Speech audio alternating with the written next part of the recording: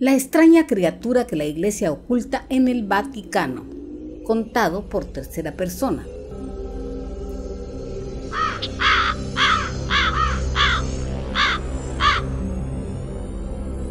Nunca más.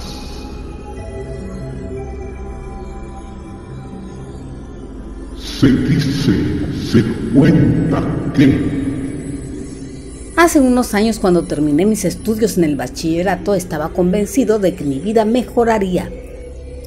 Me han admitido en la universidad y la profesión médica será difícil, pero esta es mi elección. Por otro lado, mi mejor amigo Edward Mondrake tomó una decisión inesperada para todos. Decidió convertirse en sacerdote. En lugar de ir a la universidad fue a un templo aparentemente asistiendo a algún tipo de seminario. En cualquier caso, Edward es un fiel creyente y como la idea de no poder volver a ver a mi amigo me molesta, tengo que apoyarlo. Aunque al parecer todo fue empeorando y lo inesperado llegó. ¿Qué fue lo que pasó? Ya te cuento.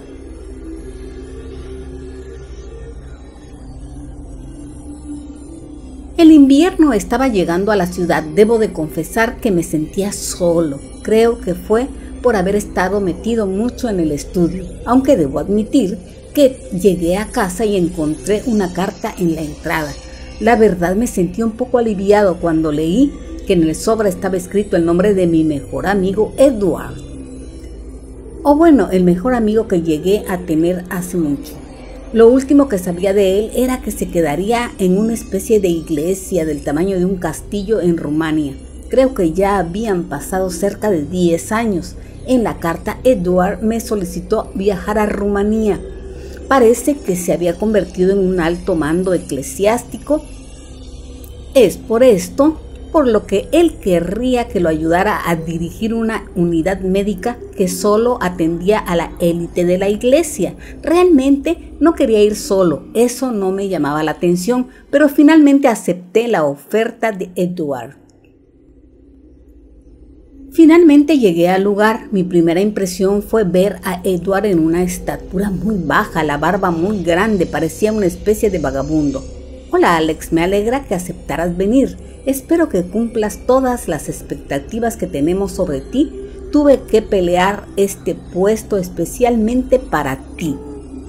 Parecía que Edward había cambiado de voz. Finalmente acepté y empecé a hablar un poco sobre nuestra infancia, aunque admito que en el castillo hacía mucho frío, era muy incómodo para dormir, pero no tan cómodo cuando Edward me despertó cerca de las 5 a.m Edward se puso un poco fastidioso, me dijo que estaba leyendo sobre mis artículos del gen humano y la estructura del ADN. Edward me llevó y bajamos a unas escaleras casi infinitas. Finalmente encontramos una puerta muy vieja. Pensé que había un monstruo detrás de ella, pero únicamente era un anciano que parecía que iba a fallecer y estaba realmente ciego. Salí de la habitación, interrogué a Edward y él me dijo que el hombre de la habitación tenía 300 años. Pensé que bromeaba, pero entendí el por qué me hablaba del ADN y cosas así. Y le dije, ¿sabes, Edward? Viajé a este lugar solamente para ver a mi mejor amigo, pero creo que él ya no existe. Edward ignoró eso y me dijo que fuera a tomar el expediente que estaba en la mesa del gran sacerdote. Me retiré y empecé a empacar mis cosas, pero la curiosidad fue grande. Tomé el expediente y vi que aquel hombre había nacido en el año 1400. Tenía un poco más de 100 años de haber dedicado su vida a la religión. Yo tenía que ser parte de esto. Me impresionó. Fui nuevamente con el señor de la habitación profunda. Resultó ser el padre Vladimir. Le dije que por qué razón no se había quitado la vida y ya que él quería haber fallecido. Pero Vladin me dijo que lo ha intentado, pero su cuerpo parece recuperarse. Tomó un cuchillo y se decidió a demostrármelo. El padre Vladin se puso el cuchillo sobre el cuello y se deslizó como una navaja en hoja. Estaba realmente sangrando, pero no fallecía. Me quedé muy impresionado por lo que estaba sucediendo. Vladimir dijo que eso le dolía mucho, pero que no podía fallecer. Las heridas se cerraban dentro de unas horas en él, pero no entiende el por qué. Vladín dijo que ya no aguantaba caminar, sentía que sus huesos se rompían solos, así que decidí realizar algunos estudios. Edward me pidió analizar todo y me prometió que el Vaticano no acabaría conmigo después de dar los resultados. Edward se retiró, pero después sospeché que él hablaba con su superior y éste le decía sobre el proceso. Edward le dijo que yo era de confianza, pero que si fallaba en algo era mejor que acabaran con mi vida. Así que me asusté demasiado, ya no había marcha atrás. Fui con el padre Vladimir, él me dijo que si no sabía si estaba bendecido o maldito. Era algo confuso para él y para nosotros.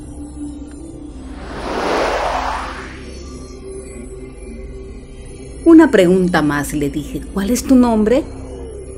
He tenido muchos, me dijo, pero el actual es Vladimir. Es una historia de terror muy difícil de probar qué tan verídica es y quién la escribió, ya que la mayoría de personas que relatan la historia de terror lo hacen anónimamente. Por eso se refiere que cada quien decida que cuán verídica es esta historia. Pero les cuento un cierre.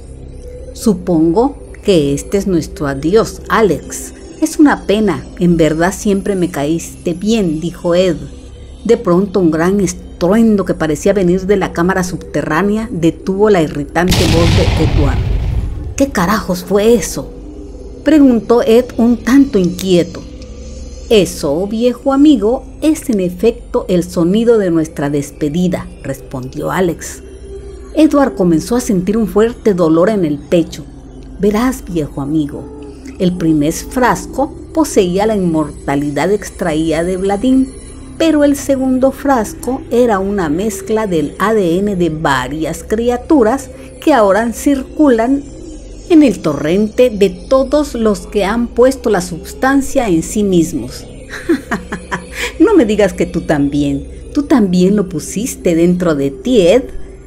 Te creía más listo, Ahora de poco en poco sus cuerpos comenzarán a deformarse en unas horribles criaturas, pero no te preocupes, no morirán, serán solamente una mezcla de muchos animales muy desagradables, por cierto. Y por si estás pensando, el tercer frasco no puede terminar su dolor. De hecho, solo posee agua dentro de él. Alégrate, Ed, al menos nunca desaparecerán sed en su paso inmortal.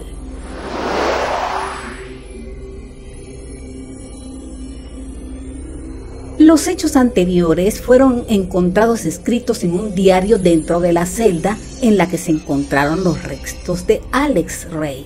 Se dice que aún se escuchan ruidos y golpeteos de distintas criaturas provenir desde la cámara subterránea del Vaticano, zona que actualmente está completamente restringida.